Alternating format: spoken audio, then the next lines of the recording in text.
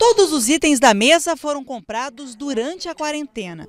Neste período, a Ingrid resolveu investir em objetos de decoração e utensílios para o dia a dia da casa.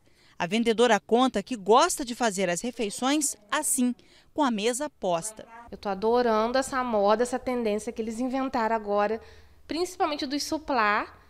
Aí você faz para combinar com as xícaras. São pequenos detalhes que fazem toda a diferença, né, para uma mesa posta.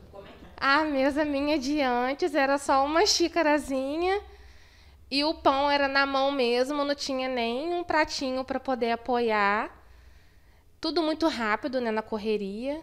Ela recebe as clientes em casa, por isso comprar os itens foi um investimento para deixar o ambiente mais aconchegante. E hoje em dia eu faço questão de montar uma mesa muito bonita, arrumada. E aumentando a sua autoestima, agradar as pessoas, as minhas clientes também, quando vêm aqui na minha residência, elas adoram. Vale super a pena e eu super indico.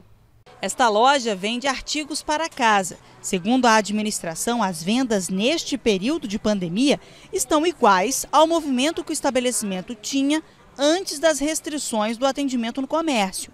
Até mesmo na fase do lockdown, eles conseguiram manter os negócios, com as vendas online. Assim que o comércio foi liberado para trabalhar com a parte de entrega, nós entramos com o WhatsApp. Só que no caso a demanda foi muito grande e o retorno também começou a crescer.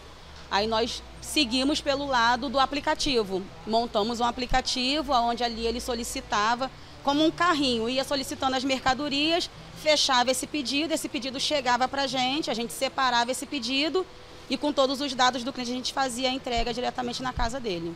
O lojista percebeu que os clientes passaram a dar mais importância à decoração da casa e, a partir disso, estreitou os laços com eles, através das redes sociais, como, por exemplo, montando o ambiente e divulgando a foto, como este cantinho do café.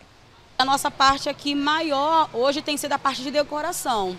A parte de decoração, os acessórios para a cozinha, a parte de eletro, e assim a gente conseguiu se manter. Nesse período da, da pandemia, a gente começou a perceber que a casa hoje passou a ser mais valorizada. Eu acho que devido ao tempo que a gente precisa hoje estar tá mais dentro de casa.